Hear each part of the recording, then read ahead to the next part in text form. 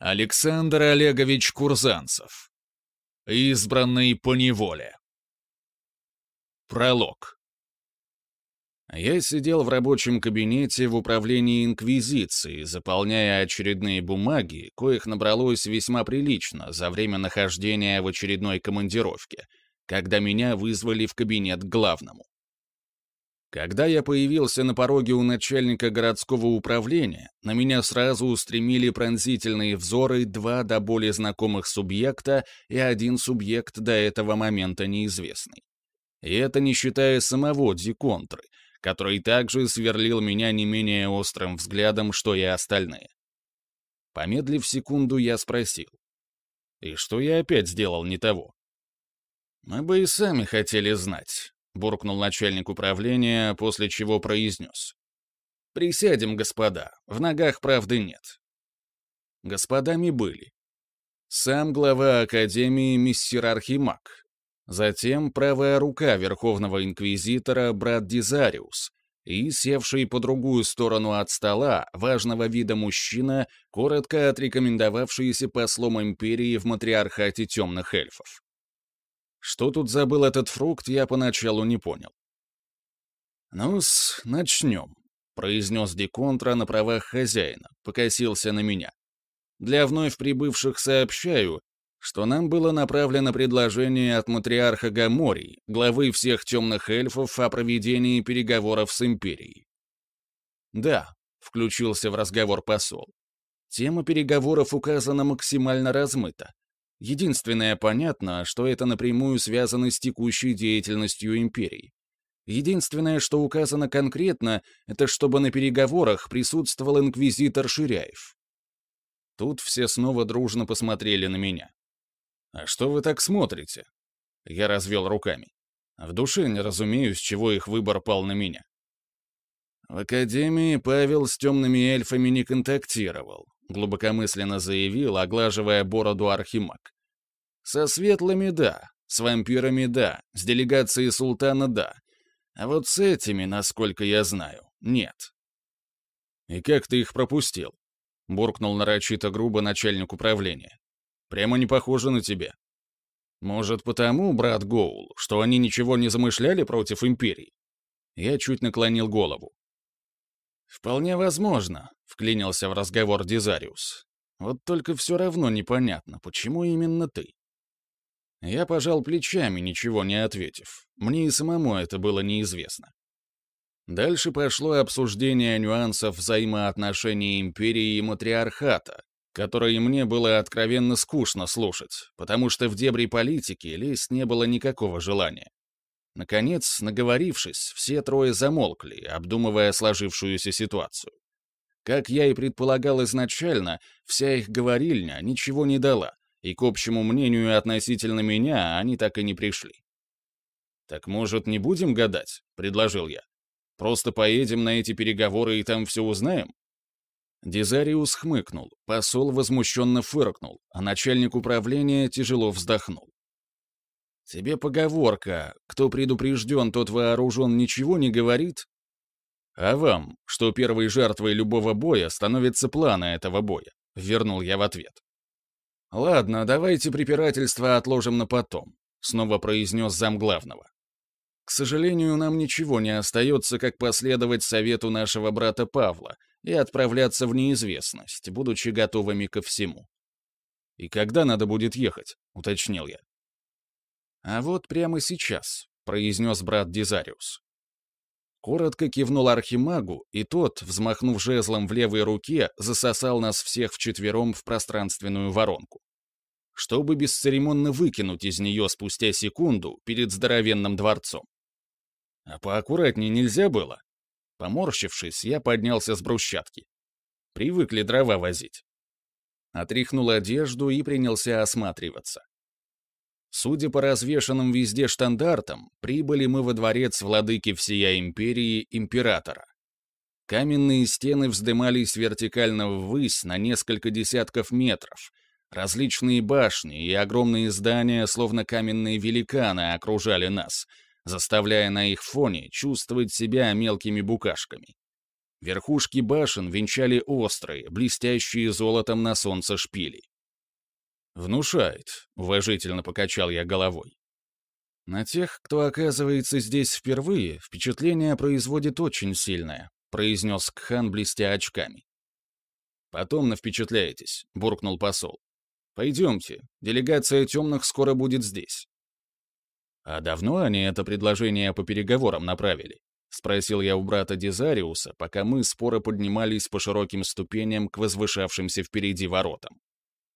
«Да уж две недели как», — ответил тот. «Две недели решали, сказать мне или не сказать?» Я покосился на зама Верховного, но тот вопрос проигнорировал. В зале, где должна была появиться делегация темных эльфов, нам выделили левую сторону длинного стола, где в конце стояли штандарт империи и знамя матриарха на древках. Сесть сразу не дали, мол, по протоколу нельзя. Поэтому минут пять мы скучали, опираясь на спинки высоких кресел, пока, наконец, противоположные двери не распахнулись, и оттуда не появилось четыре темных эльфийки и один темный эльф, видимо, какой-то помощник. После взаимных приветствий мы сели друг напротив друга и дружно с любопытством стали разглядывать оппонентов. Эти темные эльфийки не отличались таким вызывающим поведением, как те, что приезжали учиться в академию. Но оно и понятно. Там сопливые юнцы, едва первую сотню лет разменявшие были. А тут явно дамы минимум тысячелетней зрелости. Впрочем, их интерес к своей персоне я почувствовал — те или не считали нужным скрывать его, или преследовали какую-то свою цель. «Уважаемые госпожи», — обратился к ним посол, «мы здесь сегодня собрались, чтобы обсудить условия переговоров между империей и матриархатом, касающиеся дальнейших взаимоотношений между нашими двумя странами. Меня вы уже знаете. Это, — посол повернулся к хану, — член Верховного Совета Империи, Верховный маг архимаг Зоракхан. А это, мужчина указал на нас с братом Дизариусом, представители Священной Инквизиции, заместитель Верховного Инквизитора брат Дизариус и старший инквизитор Ширяев. Мутриарха Этрист, представилась самая главная темная эльфийка. Со мной мутриархи Диемур и Систелин. Затем, не дав имперскому послу вставить слово, твердо произнесла. Мы здесь только для того, чтобы объявить...» Тут вся наша делегация дружно замерла, потому что такими словами и таким тоном обычно объявляют начало войны, но матриарх сумела удивить, продолжив. Что темные эльфы покидают этот мир. Территории, ранее принадлежащие империи, будут считаться переданными обратно, как только уйдет последний темный эльф. Все находящееся на этой территории имущество, кроме того, что мы заберем с собой, также будет считаться переданным империей. Матриархат надеется, что такие условия послужат гарантией о ненападении империи до момента исхода темных эльфов, и со своей стороны обязуется оставляемые территории не подвергать тем или иным негативным магическим воздействиям, а также прямо или косвенно наносить землям вред до момента передачи. «Если можно», — посол прокашлялся, — «не могли бы вы сообщить о причине исхода?» Наши маги обнаружили отдаленный мир, более подходящий нам для проживания и не имеющий развитой разумной жизни, — ответила матриарх. И вот не поймешь, правду говорит или нет. Лицо эльфийки в этот момент было абсолютно каменным, ни единой эмоции не прорвалось наружу. Но вряд ли бы они просто так бросили то, что строили целое тысячелетие, и вряд ли бы так сильно испугались империи, чтобы спешно сбегать.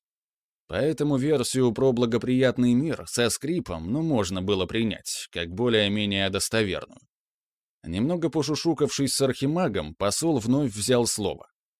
«Уважаемые матриархи, окончательный ответ будет вам предоставлен в течение нескольких часов, но предварительно никаких препятствий для соблюдения обозначенных условий нами не усматривается. Единственный вопрос. «Какой?» — спокойно переспросила Аэтрист. «Зачем вы настаивали на присутствии старшего инквизитора Ширяева?» Все тут же снова посмотрели на меня. В нацатый за эту встречу раз. А затем матриарх ответила, пристально глядя мне в глаза. Затем, чтобы убедительно попросить уважаемого старшего инквизитора после исхода нас не искать, а во время исхода воздержаться вообще от каких-либо действий, даже в теории, способных повлиять на перераспределение магических сил в мире. Портал требует очень тонкой настройки. Мы и так полтора года заново пересчитывали баланс сил, после того, как демонический план был уничтожен. Потом еще полгода искали, чем заменить недопоставленные гномами материалы. Затем был магический всплеск, после инцидента на вашей границе со светлыми, который уничтожил половину заполненных и уже готовых накопителей. Поэтому от лица Верховного Матриарха прошу. Эльфийка встала, повернулась ко мне и под удивленными взглядами остальной нашей делегации обозначила легкий поклон, договорив. «Старший инквизитор, дайте нам спокойно уйти. Пожалуйста, ничего не предпринимайте и вообще не приближайтесь к нашим границам. Пожалейте наш народ. Мы никогда не стремились поработить или уничтожить людей. Нам просто нужно было немного места, чтобы выжить. Вот тут я почувствовал себя неловко. Хотел было заикнуться, что с демонами и гномами это вовсе не я. Причем, если с последними я хоть рядом был, когда их гора схлопнулась, то к демоническому плану и близко не приближался. Но посмотрел в глаза остальным эльфам и понял, что не поверят. Больно красноречивые были взгляды. Брат Дизариус не сильно ткнул меня ногой под столом, и я, спохватившись, поднялся и чуть хрипло, от чего-то слегка волнуясь, ответил. «Я не испытываю ненависти к вам и вашему народу, и постараюсь тоже, в свою очередь, ничего, чтобы могло вам помешать, не делать». Я покосился на зама Верховного Инквизитора, и тот незаметно кивнул, подтверждая, что я сказал то, что нужно было сказать. Ну а темные эльфы, мне показалось, что они как-то облегченно выдохнули, стоило мне произнести это в ответ. Но настороженность так до конца и не ушла. Да и я сам, если честно, был не уверен до конца. Больно у меня специфическое было везение. Ну, постарался я убедить сам себя. По крайней мере, я не буду им пытаться мешать сознательно.